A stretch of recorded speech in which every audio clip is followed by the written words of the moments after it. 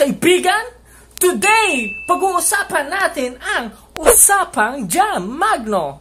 Babasahin natin ang kanyang mga tweet comments. Are you ready? Let's do this. Ayan. Ayan. Ayan. Ayan. Ayan. Ayan. Ayan. Oh, mga kaibigan. Yan yung makikita mo sa kanyang Twitter ngayon. Ni hindi ko na nga ho hinalungkat o hinukay yung kanyang Twitter account. Kasi wala ho akong planong magkalkal ng basura.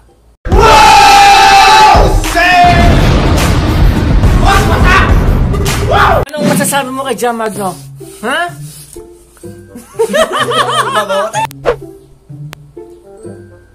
Ang sabi niya ho rito mga kaibigan eh, wag na raw kukuha ng pambato na Miss Universe dito sa Iloilo. Kasi mas marami daw sa may butuan at Davao. Aba, aba, aba, aba, aba? Kesyo naman, ikaw yung kunin, di ba? Ha? Di ba ikaw na rin yung nagsabi na hindi ka na pwede kasi overage ka na? Kahit hindi ka naman overage, hindi ka papasa! To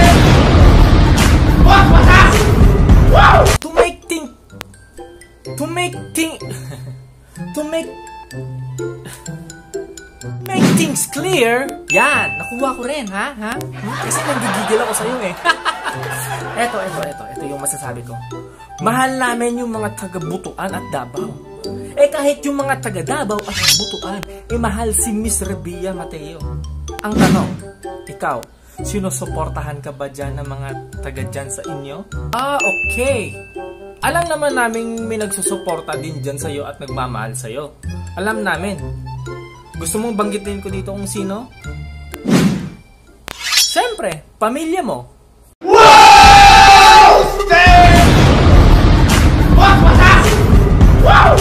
Ano yung masasabi mo sa kanya? Tapusin mo! Tapusin mo!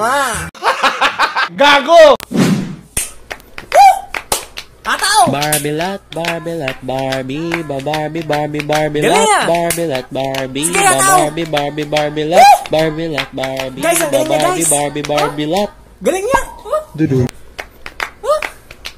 Barbilat, Barbilat, Bar Last mo na yan. Ha? Hmm? Last mo na yan. Hmm? At ano yung sinasabi mo? Ha? Na wala kang pakialam sa mayor namin dito? At wala kang pakialam sa Iloilo? Ha? Hmm? Hmm? Bakit? Ang tanong, may pakialam ba kami sa'yo? Ha? Ako lang yung may pakialam sa'yo. Ha? Ginagaya lang kita. Katulad nung pagsakay mo sa pangalan ni Rabia, humahakot ka ng followers ngayon sa Twitter. So yung ginagawa ko ngayon is sinasakyan ko rin yung pangalan mo para makahakot ako ng views sa YouTube at subscribers. Payaman.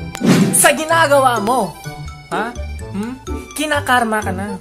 Ngayon kalat na kalat na sa social media yung picture ng kapatid mo na sumasali din sa mga beauty pageant. Ha? Ginagawang meme, binubuli. Hmm? Hmm? Ha? Sabihin na natin hindi ka tinatabla ng mga bash or hate comments. Pero yung kapatid mo, ha? Siya yung sumasalo ng mga kahayupan mo? Hmm? Na mga katarantaduan mo? Ha? Babae ka pa naman? Ha? Hmm? Sasampalin, hmm, sasampalin kita, ha? Kaya kung ako sa'yo, magpakabuti ka. Ha? Wala namang masama kung magpapakabuti ka. Buti nga eh, pinakita ka pa ng mabuti kahit hindi mabuti yung ginagawa mo. Ha?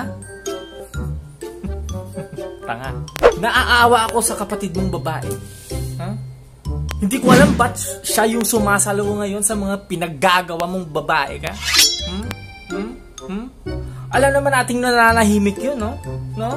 Pero hindi siya nakaligtas sa mga bashers din kasi sa pinaggagawa mo. Hmm? Ang sarap mong kalpukan eh, no? Ha? Hmm? Hmm? Nangigigil. Oh, nakita mo na? Kahit yung Diyos, sinasama mo pa sa ginagawa mo. Ano yan? Para di ka mabash? Ha? Ha? Gagamitin mo pa yung sa taas? Ginagamit ka nga ba ng Diyos? O ikaw yung gumagamit sa Kanya? So mga boss, awat na ho tayo, tama na. Tama na. At mag-move on na tayo, no? Sa mga ano natin. Hayaan na ho natin yung babaeng to, no? Importante eh, nakalabas ho tayo ng mga hinanaing natin sa kanya, no? Salamat ho sa panonood. Please don't forget to share, like, and comment. And please don't forget to subscribe. Peace.